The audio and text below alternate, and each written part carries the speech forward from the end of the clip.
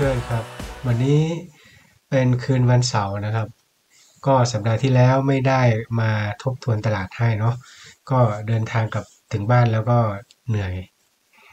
ก็เลยขอเว็บไปหนึ่งสัปดาห์แหละครับ เดี๋ยวสัปดาห์นี้ก็จะมาอัปเดตให้ทั้งหมด 4 คู่นะครับ ว่าสัปดาห์หน้าเราจะวางแผนเทรดกันยังไงนะวันที่6ถึง10มิถุนายนเนี่ยนะครับ ก็จะมีทองคำนะครับ EU UJ แล้วก็ สัปดาห์นี้เพิ่มเป็น GBP JPY ให้นะครับ นานๆมาทีนะคู่นี้เดี๋ยว ดูว่ามันจะน่าสนใจไหมเพราะว่าทั้งอ่า UJ กับ GBP JPY เนี่ย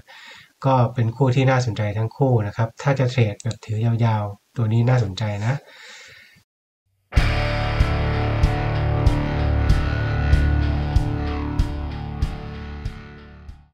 เดี๋ยวก่อนที่จะไปดูทองคำนะครับ อยากให้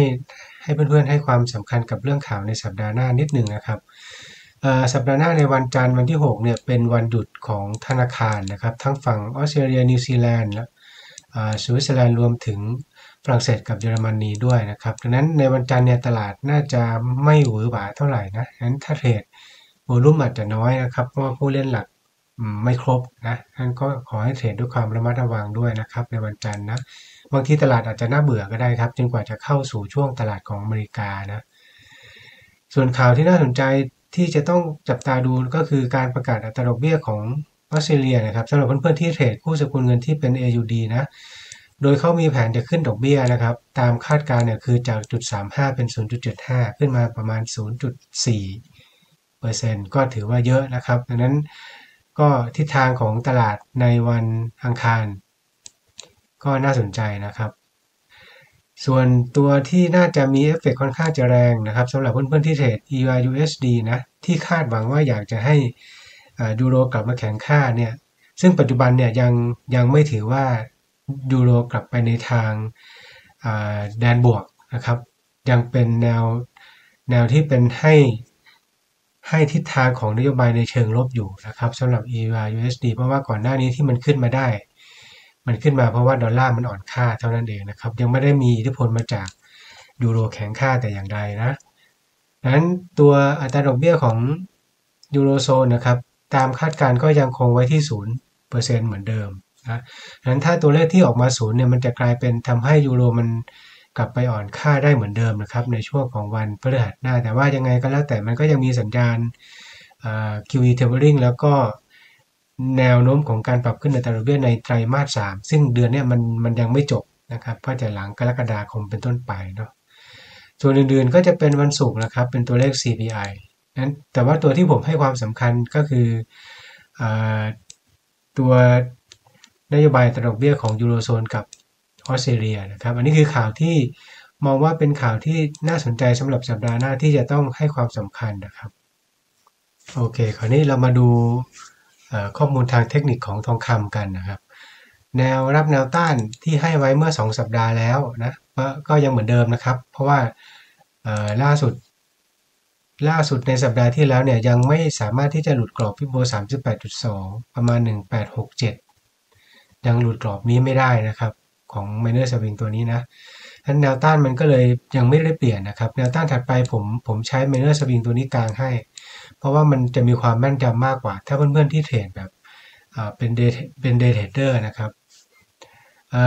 แนวต้านที่อยู่ถัดไปจากประมาณ 1867 เนี่ยก็จะเป็น 1,900อ่า1,893 ประมาณนี้นะ ตัวเลขกลมๆนะครับ แล้วก็ 1,918 1,953 ให้ไว้แค่ 3 แนวนะครับ ส่วนแนวที่มองว่าน่าสนใจมันก็จะเป็นนี่อิโบ50.0 ประมาณ 893 ถึง 1,900 โซนนี้นะครับ เป็นแนวต้านที่น่าสนใจในแนวต้านถัดไปนะ ส่วนแนวรับนะครับแนวรับเดี๋ยวไปดูใน time frame 4 ชั่วโมงอีกทีหนึ่งนะ แต่ว่าแนวรับถ้าไม่นับที่โลเดิมตัวนี้นะครับ ก็ 1765 ยังมาไม่ถึง เดี๋ยวผมจะหาแนวรับโซนนี้ไว้ให้นะ เดี๋ยวไปดูที่ time frame 4 ชั่วโมงกันนะครับ ขยับลงไป time frame เดี๋ยวก่อนก่อนที่จะไปดู time frame 4 ชั่วโมงนะครับออยากให้เพื่อนๆระมัดระวังตัวนี้เพิ่มนิดนึงสำหรับเพื่อนๆที่เข้าเปิดออเดอร์บายยังถือขาบายอยู่ตอนนี้เนี่ยก็อยากให้ระมัดระวังการย่อตัวในสัปดาห์หน้านะครับ ซึ่งตัว Stochastic Time Frame Day 1เนี่ยใกล้จะถึง Overbought แล้วนะครับ ก็เลยมองว่าถ้าเขาขึ้นไปเรื่อยๆ จนถึงโซนประมาณแถวๆนี้น่าจะอยู่ในช่วงสภาวะ Overbought ใน Time Frame Day 1 นั้นขอให้ระมัดระวังเรื่องของการย่อตัวลึกๆด้วยนะครับสำหรับขาบายนะก็เป็นเน็ตกำไรไว้ด้วย เพราะว่าถ้าดูลักษณะการขึ้นในลักษณะขึ้นย่อขึ้นย่อเขียวแดงแบบนี้เนี่ยมีโอกาสที่จะโดนตกลงมาแล้วก็ร่วงแรงด้วยนะครับ แต่ว่าจะร่วงตรงไหนเดี๋ยวไปดูที่ time frame 4ชั่วโมง ความน่าจะเป็นนะครับ มันจะประมาณแถวๆไหนนะโอเค คราวนี้ไปดูที่ time frame 4ชั่วโมงกันนะครับ time frame 4ชั่วโมงเเห็นอะไร ย่อลงนิดนึง ผมตีกรอบ channel line สีฟ้าตัวนี้ไว้ให้นะครับ เป็นเป็นเป็นกรอบการวิ่งของสวิงราคาของเขา ก็มองว่าถ้าโซนที่จะเปิดออเดอร์เซลล์ที่ผมเล็งไว้นะ ก็คือโซนประมาณแถวนี้ มี2มี2โซนนะครับ ก็คือประมาณ 1,895 กับ 1,920 โซนเนี้ยผมมองว่าเป็นโอกาสที่จะหาจังหวะเข้าเซลล์ได้ ทั้งนี้ทั้งนั้นเนี่ยเราจะดูอะไรนะครับ อย่างแรกที่เราเห็นอยู่ตอนนี้คือ time frame 4ชั่วโมงเนี่ย divergence มาแล้วนะ divergence ใน time frame H4 นะครับ ครั้งที่ 1 มาแล้วนะ ดังนั้นขาบายที่ถือออเดอร์ไว้ก็ขอให้ระมัดระวังการย่อตัวลงลึกๆด้วยนะครับ ส่วนขาเซลล์เหมือนที่อธิบายก็คือผม ถ้าถ้าส่วนตัวผมผมเล็งแถวนี้เอาไว้ โซนนี้นะครับ ซึ่งมัน confluence กันกับ Fibo 50.0 กับแนวของ Channel Line ตัวนี้นะครับ ส่วนแนวรับแนวรับใน time frame 4 ชั่วโมงนะครับ ถ้าเพื่อนๆจะหาก็ให้ลาก minor swing ขาขึ้นตัวนี้นะครับ ตอนนี้ high สุดของเขาอยู่ประมาณ 1874 ก็ลากถึง 1874 นะ ก็มีแนวรับที่น่าสนใจอยู่ตัวนี้ แนวแรก 38.2 ครับ ประมาณ 1,840 นะครับ ตัวนี้นะ ก็มีสวิงโลตัวนี้อยู่นะอันแนวรับแนวแรกตัวนี้ แนวถัดมาที่ดูน่าจะแข็งแรงกว่า 38.2 คือ 50.0 นะครับ ประมาณ 1,830ส่วนถ้าหลุด 1830 ลงมาได้แนวที่น่าสนใจมันจะไม่ใช่ 61.8 นะ มันจะเป็น 78.6 นะครับ ประมาณ 1,805 ประมาณนี้นะให้แนวรับไว้ 3 แนว ถ้า day trader ก็ประมาณนี้นะครับ ส่วนถ้าลึกกว่านี้ถ้า trade time frame ใหญ่หน่อยเนี่ยก็คงเล็งไว้แถวแถว low เดิมนะหนึ่งประมาณ 1,797 ประมาณนี้นะครับอันแนวรับ ถ้าสมมุติว่าในสัปดาห์หน้าเขาสามารถที่จะดีดทำนิวไฮได้เนี่ยตัวแนวรับข้างล่างมันจะเปลี่ยนไปนั้นให้เพื่อนๆลากพี่โบตัวนี้นะครับ ขยับขึ้นตาม ไฮใหม่ ถ้าเขาทำได้นะครับ แนวรับข้างล่าง ที่ผมพูดถึงเมื่อกี้เนี่ยมันจะเปลี่ยนไปทั้งหมดเลยนะ ดังนั้นแนวรับที่น่าสนใจมันก็จะเปลี่ยนไป อันนี้ย้ำไปก่อนนะครับ เพราะว่าในระหว่างสัปดาห์ไม่ไม่ได้มาอัปเดตตัวนี้ให้นะครับ ก็อันนี้คือแนวรับแนวต้านส่วนถ้าจะเข้า buy ตามเทรนเนี่ยโดยส่วนตัวแล้วลักษณะการขึ้นสวิงขึ้นสวิงลงแบบนี้ก็รอเปิด sell น่าจะมีโอกาสเก็บกำไรได้เยอะกว่านะครับ คือถ้าร่วงเนี่ยมันจะร่วงหนักถ้าถ้ามันขึ้นแบบ ขยับขึ้นอืดขึ้นอืดแบบนี้นะงั้นก็รอจังหวะเปิด sell น่าจะโอเคกว่านะครับส่วนขา buy ถ้ายังอยากจะเข้าอยู่ก็ trade สั้นก็ตามแนวรับขนาดเล็กในกรอบ time frame 4ชั่วโมงที่ให้ไว้เมื่อตะกี้นะครับ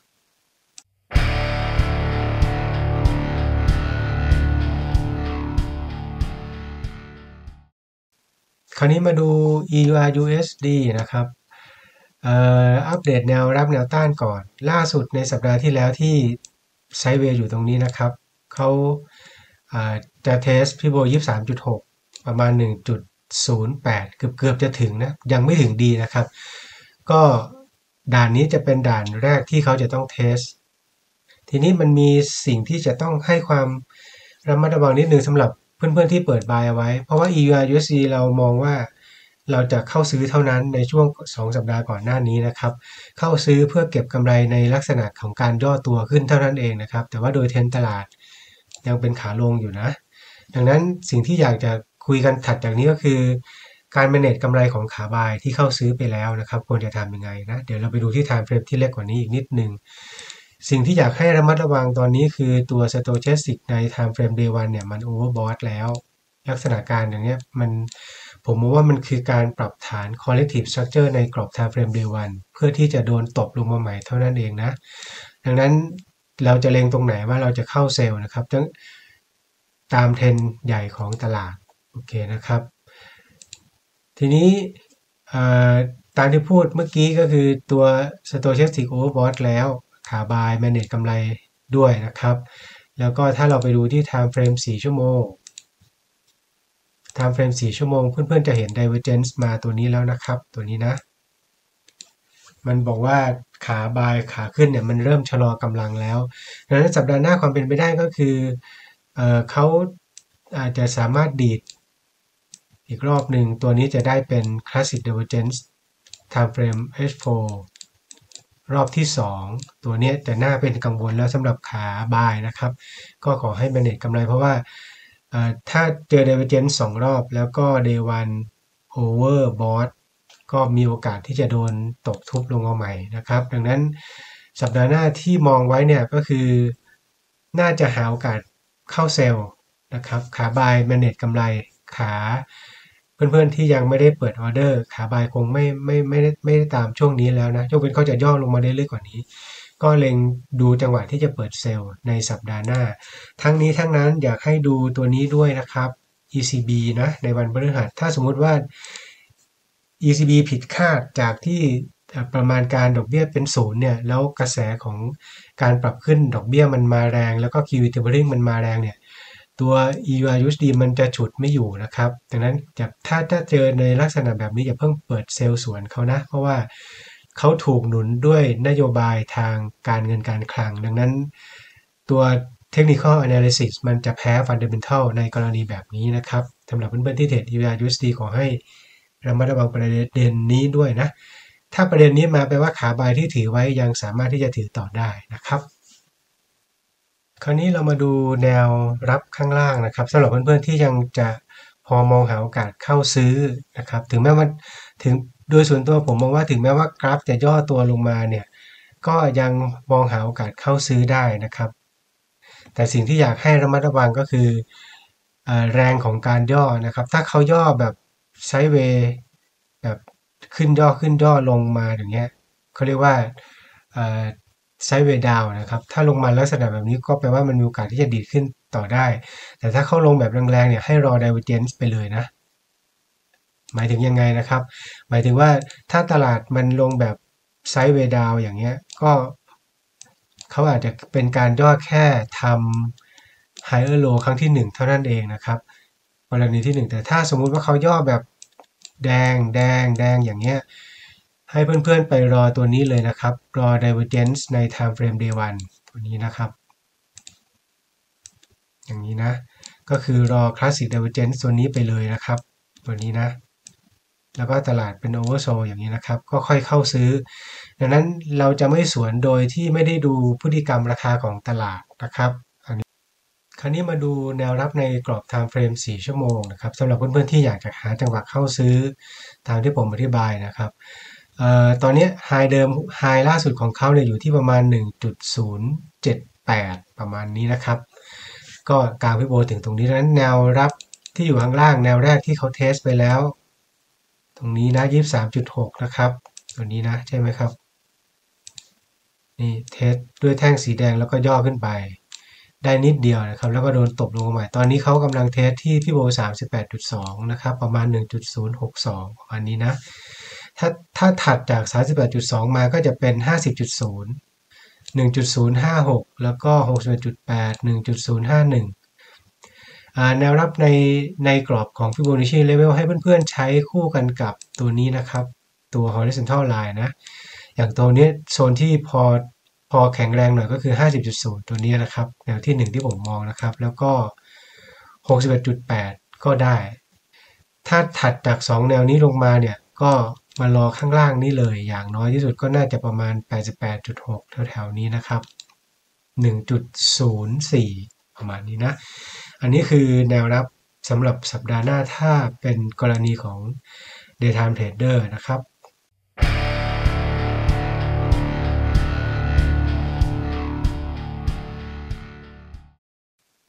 คราวนี้มาดู USD JPY นะครับ เป็นคู่ที่เราเล็งที่จะเปิดเซลล์อยู่นะ แล้วก็เปิดเซลแล้วแหละ เปิดเซลไปแล้วนะครับ แต่ว่าในสัปดาห์ก่อนหน้านี้ผมให้ไกด์ไลน์เพื่อนๆเอาไว้ว่า ถ้าใน time frame day 1เขายังลงแบบ ช้าๆอย่างนี้นะ อย่างนี้นะครับ ลงอย่างเนี้ย แล้วก็สิ่งที่เราเห็นคือ stochastic ใน time frame day one มัน oversold ถ้าเขาลงแบบนี้เนี่ยเขาจะดีดขึ้นไปใหม่ เพื่อทำตัวนี้ครับทำ classic divergence ใน time frame day one ก็เลยให้ให้ข้อเสนอได้ไปว่าถ้าถ้าเปิดเซลล์ไปแล้วขอให้มันเน็ตเรื่องของกำไรกับ stop loss เสีย เพราะว่าสุดท้ายที่สุดก็คือพอมัน oversold มาก็ดีดขึ้น เขียวต่อเนื่องนั้นหมายความว่า เขามีโอกาสที่จะเบรกเอาตัวนี้ไปให้ไปได้ด้วยนะครับ แต่เบรกเอารอบนี้เราจะต้องรุ้นว่ามันจะเป็น fall break ที่ตรงไหนเท่านั้นเองนะ โอเค คราวนี้เดี๋ยวมาเรามาดูแนวรับแนวต้านกันก่อนนะครับแนวรับที่ผมลบออกไปแล้วคือโซนนี้ประมาณ 127 ลบออกไปแล้วนะ เพราะว่ามันใช้งานละ ก็แนวรับที่อยู่ข้างล่างถัดมาจะเป็นประมาณ 124.9 นะครับ แล้วก็ 121 เอาแนวรับไว้ 2 แนวนะ ใน time frame day one นะครับ ส่วนแนวต้าน ถ้าสมมุติว่าถ้าเขาสามารถที่จะเบรกไฮเดิมตัวนี้ได้เนี่ยประมาณ 131 ไปได้เนี่ยแนวต้านข้างบนที่น่าสนใจอยู่ที่ไหนนะครับ ก็กลางฟิโบตัวนี้เลยนี่นะเดี๋ยวไปดูที่ time frame 4 ชั่วโมงนะครับ จะได้ใหญ่ขึ้นมานิดนึงดูง่าย อย่างนี้นะครับแนวต้านแนวต้านข้างบนเนี่ยตัวที่ 1 จะกลายเป็น 132.7 นะพี่โบ127 นะครับ แล้วก็ 167.8ประมาณ 134.4 เป็นแนวที่ 2 แล้วก็แนวสุดท้ายFibo 200 ผมให้ไว้แค่ 3 แนวนะเพราะมองว่าในใน swing minor ตัวนี้เนี่ยโอกาสที่เขาจะทะลุ Fibo 200 นี่ค่อนข้างจะยากนะครับ ก็ 136.3 ให้ไว้ 3 แนวสำหรับแนวต้านสิ่งที่อยากให้ระมัดระวังช่วงนี้ก็คือถ้าเขาเบรกเอาแล้วก็ทำ new high ได้ได้ใหม่เนี่ยอยากให้เพื่อนๆระวังเรื่องของ false breakอย่าเพิ่งไปตามขา buy นะครับ รอกด sell เท่านั้นนะครับยูดี JPY ต่อให้ breakout new high ก็ตามก็ยัง sell อยู่ดีนะครับโอเคนะนั้นถ้าเพื่อนๆที่พอรู้เทคนิค swing trade ก็จะรู้ว่าจังหวะเข้า sell จะทำยังไงนะครับ แต่ว่าผมจะไม่ได้อธิบายตรงนี้นะ ส่วนถ้าเพื่อนๆที่มีเทคนิคของตัวเองก็อยากให้ใช้เทคนิคของตัวเองนะครับ UJ ผมเล็งเปิด sell เท่านั้น แบบถือยาวๆ ถือแบบ 4 เดือน 5 เดือนเลยนะ ก็จะเล็งแบบนี้ อาจจะรอนานนิดนึงไม่เป็นไร แต่ถ้าเป็น daytime trader ก็เทรดได้ทั้ง 2 หน้านะครับ โดยโดยโดยฟันเดเมนทัลเนี่ยดูเจยังเป็นขาขึ้นอยู่นะครับ เพราะว่าเพราะว่า BOJ เนี่ยเขายังเป็น easing policy อยู่ก็คือนโยบายอัตราดอกเบี้ยต่ำ ยังไม่เปลี่ยนนะครับ จนกว่าสัญญาณ BOJ จะมาเช่น อัตราดอกเบี้ยเอออัตราเงินเฟ้อของเขาเริ่มสูงขึ้นเนี่ยเขาอาจจะมีมุมมองในการเปลี่ยนจากอัตราดอกเบี้ยติดลบ ติดลบ ถ้าปัจจุบันนี้น่าจะติดลบ 0.1 นะ ก็อาจจะเปลี่ยนเป็นศูนย์หรือบวก 0.1 ถ้าอย่างนี้เนี่ยเงินเยนจะกลับมาแข่งค่านะครับ ถึงจะทำให้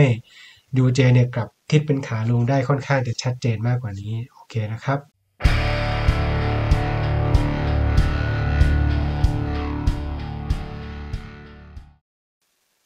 คราวนี้เป็น GBP JPY ครับคู่สุดท้ายสำหรับคืนนี้นะ ในกรอบ Time Frame Week trend ตลาดยังเป็นขาขึ้นอยู่นะครับ แต่ว่ากำลัง form structure กำลังฟอร์มโครงสร้างที่จะกลับทิศเป็นขาลง เดี๋ยวเราไปดูใน time frame ที่เล็กลงอีกทีหนึ่งนะอันช่วงนี้ขอให้ระมัดระวังสำหรับขา buy ที่จะตามเทรนขาขึ้นในระยะยาวตัวนี้นะครับ เดี๋ยวผมอัปเดตแนวรับแนวต้านให้ก่อนนะ แนวต้าน ไฮเดิมเนี่ยหนึ่งร้อยสิบเจ็ดจุดเก้าห้าอันนี้ใช้งานไปแล้วนะครับ แนวต้านที่อยู่เหนือจากนี้เนี่ยให้ไปที่หนึ่งร้อยเจ็ดสิบ4.9 ตัว GBP JPY เวลาเขาวิ่งเนี่ยเขาวิ่งค่อนข้างจะเร็วนะครับแนวต้านกับแนวรับมันก็จะดูห่างกันนิดนึงนะโอเคแนวต้านให้แนวเดียวนะครับ เดี๋ยวแนวต้านเล็กๆ เดี๋ยวเราไปดูใน time frame ที่เล็กลงกว่านี้อีกนิดนึงนะครับส่วนแนวรับ ให้ไว้แนวเดียวเลยครับ 153.39 อันนี้กรอบ time frame week เดี๋ยวเราไปดู time frame day กับ time frame 4 ชั่วโมงอีกทีหนึ่งนะครับ โอเค คราวนี้ไปดู day one นิดหนึ่ง สิ่งที่อยากให้เราดูก็คือช่วงก่อนหน้านี้ 2 สัปดาห์ที่แล้วเนี่ยเขาโดนเทกระหน่ำหนักมากนะ ลึกเลยแหละนะครับ แล้วก็มาชนแนวรับตัวนี้ ก็ rebound กลับขึ้นไป แต่สิ่งที่อยากให้เพื่อนๆระมัดระวังตอนนี้ก็คือขา buy ที่เข้าไปแล้วนะครับ ตอนนี้ day one overbought นั้นขอให้ระมัดระวังเรื่องของการย่อตัวนะ ส่วนจะย่อแบบไหนเราต้องไปดูตลาดอีกทีนึงนะครับ ก็อาจจะย่อแค่ปรับฐานทำ higher low แล้วก็ขึ้นต่อก็ได้นะ ดูที่พฤติกรรมของราคาด้วยนะครับ ถ้าแต่ถ้าเขาย่อแบบแดงๆ คล้าย ๆ อย่างเงี้ยแปลว่าเขาจะย่อลงมาลึกเลยนะ อาจจะทะลุโลนี้นะครับ ดังนั้นในช่วงนี้เราจะไม่ไม่ฟันธงว่ามันตลาดมันจะขึ้นหรือมันจะลง แต่อยากให้เพื่อนๆดูเวลาที่เขาย่อเขาย่อแบบไหนอย่างกรณีอย่างเงี้ยที่ขึ้นเนี่ยแรงขาขึ้นเริ่มจะหมดแล้วนะครับ อยากให้ระมัดระวังถ้าจะเข้าบายช่วงนี้ก็ขอให้มันให้ระมัดระวังด้วยโอเค คราวนี้ทางเทคนิคบอกว่า day one overbought ดังนั้นไม่แนะนำให้เข้า buy นะครับ เดี๋ยวเราจะหาโอกาสเข้า sell กัน โดยที่เราคาดหวังว่าการ rebound กลับขึ้นไปรอบนี้มันจะเป็นการทำ lower high ครั้งที่ 1 นะครับ ในกรอบ time frame day 1นะ เดี๋ยวเราจะไปลุ้นว่ามันจะน่าจะเกิดประมาณตรงไหนนะครับ คราวนี้ถัดไปดู 4 ชั่วโมง แล้วก็ลองกลางพิโบตัวนี้ดูนะครับว่าตอนนี้เขาอยู่ตรงไหนฟึบอ่าตอนนี้เขามาเทสที่พี่โบ61.8 ซึ่งเป็นแนวต้านที่ผมมองว่าค่อนข้างจะแข็งแรงพอสมควรนะ แต่มันมียอดเล็กๆ อยู่ตรงนี้อยู่ขอให้ระมัดระวังด้วยนะครับ แต่แนวต้านตัวนี้เป็นแนวต้านที่แข็งแรง ดังนั้น สิ่งที่อยากให้เพื่อนๆดูก็คือในสัปดาห์หน้าเขาย่อแบบไหน ถ้าเขาย่อลงแบบชันๆนิดนึงเนี่ยเขาจะมีโอกาสแค่ทำ higher low ครั้งถัดไปแล้วก็ขึ้นใหม่นะครับ เพราะว่าในระยะสั้นตัวเนี้ยเทนมันยังเป็นขาขึ้นอยู่นะครับ เทนขาลงยังไม่เปลี่ยนนะครับ แล้วก็ประกอบกับตัว stochastic divergence ยังไม่มายังไม่สวย นั่นหมายความว่า ความเป็นไปได้ในทางเทคนิคก็คือการย่อตัวตัวนี้เป็นแค่การปรับฐาน แล้วก็ขึ้นต่อ จนกว่าปรับฐานได้เห็น divergence ได้เห็น MACD เกลียแล้วก็ดีดรอบนี้ถึงจะได้ divergence นะครับ มันถึงจะมีโอกาสหาโอกาสที่จะเปิดเซลล์เพื่อมองว่าเป็นการปรับฐานขึ้นเนี่ยทำ ทำ lower high ครั้งที่ 1 เท่านั้นเองแล้วก็คงจะดิ่งยาวนะครับ ดังนั้น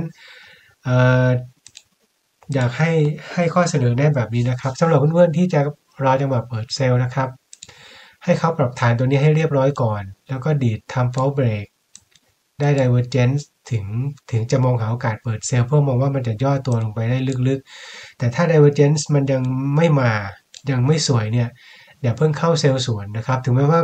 ขาบายขึ้นตรงนี้เนี่ยมันจะเริ่มชะลอกำลังแล้วก็ตามนะ ถ้าเปิดเซลล์ก็ตามแนวต้านที่ให้ไว้ก็เปิดสั้นนะครับ คราวนี้เรามาดูแนวต้านเล็ก ๆ ที่น่าสนใจประมาณตรงไหน ตอนนี้เขาเทส61.8ใช่ไหมครับ ประมาณ 163.5 เนาะ แนวต้านถัดไปจะเป็น 78.6 165.7 ประมาณนี้นะครับ แล้วก็ 88.6 166.96 ก่อนที่จะถึงไฮเดิมนะครับ อันนี้แนวต้านให้ไว้ เป็นแนวต้านขนาดเล็กประมาณนี้ ส่วนแนวรับแนวรับเราก็ใช้ minor swing ตัวนี้ได้เลยนะครับกลางขึ้นอย่างนี้นะ ถึงไฮล่าสุดของเขานะครับ แต่ถ้าสัปดาห์หน้าเขาทำนิวไฮใหม่ก็ขยับตัวพี่โบตามนะครับ แต่ตอนนี้ไฮเขาอยู่ตรงนี้ อันแนวรับที่เราได้แนวแรกจะเป็น 23.6 ประมาณ 162.1 ประมาณนี้นะ ก็ยังมีสวิงไฮตัวนี้นะครับสวิงไฮแล้วก็สวิงโลโซนนี้ดังนั้น 23.6 ก็พอใช้เป็นแนวรับได้ ถ้าเป็น daytime trader นะครับถ้าทะลุ 23.6 ลงมาได้ก็เป็น 38.2 ก็ก็พอได้แต่ว่าไม่ค่อยแข็งแรงเท่าไหร่นะ ประมาณ 160.8 แต่แนวรับที่ดูน่าจะแข็งแรงกว่า น่าจะเป็น 50.0 นะครับ นี้นะ ใช้ทั้งเทียนแล้วก็มีสวิงโลตัวนี้ นี่ประมาณ 159.8 อันแนวรับขนาดเล็กก็จะประมาณนี้นะครับ ตามแนว Fibo level ถ้าเพื่อนๆที่จะใช้สำหรับพิจารณาในการเปิด order buy ถ้าสมมุติว่าเขาสามารถที่จะย่อลงมาได้ แต่ว่าเวลาที่เราเทรดถ้าเป็น daytime trader จริง ๆ เนี่ยก่อนที่เราจะเข้าไปเนี่ยเนื่องจาก timeframe ที่เราเทรดมันจะเป็น timeframe ประมาณ 1 ชั่วโมง หรือ 30 นาทีอย่างนี้นะครับ ก่อนที่เราจะเข้าออเดอร์บายจากการที่เราเห็นเขาย่อตัวลงมาเนี่ยเอ่อถ้าเพื่อนๆเทรด time frame 4ชั่วโมงนะครับ ให้ไปดู time frame 30 นาที กับ time frame 1 ชั่วโมงก่อน ประมาณนี้นะสอง time frame เนี้ยควรจะเห็น divergence ก่อน ถึงควรจะเข้า buy ตามแนวรับเล็กๆ เหล่านี้ ถ้า divergence time frame 30 นาทีหรือ 1 ชั่วโมงยังไม่มาเนี่ยไม่ค่อยแนะนำให้เข้า buy เพราะว่ามันบอกว่าเทรนตลาดมันน่าจะย่อลงไปได้ลึก จนกว่าเราจะเห็น divergence มาเราถึงจะหาโอกาสเข้าซื้อ เพื่อมองว่าเขาจะมีโอกาสย่อตัวกลับเป็นขาขึ้นอย่างนี้นะครับ ถ้าเทรดเป็น day time trader ให้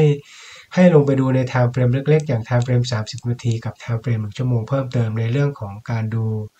classic divergence นะครับ อันนี้ใช้ได้กับทุกๆ คู่สกุลเงินเลยนะครับ ก็สำหรับคืนนี้ก็คงจบประมาณเท่านี้นะครับ มี 4 คู่สำหรับเพื่อนๆที่อยากให้วิเคราะห์คู่อื่นเพิ่มก็ก็คอมเมนต์ไว้ใต้คลิปนะครับ ยังไงก็แล้วแต่อย่าลืมทุกครั้งที่เปิดเทรด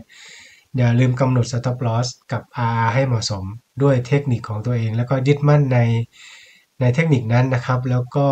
วางแผนก่อนเทรดเสมอๆนะครับ ขอบคุณเพื่อนๆที่ติดตาม แล้วก็คงเจอกันใหม่ในสัปดาห์หน้าสำหรับสัปดาห์นี้ก็สวัสดีครับ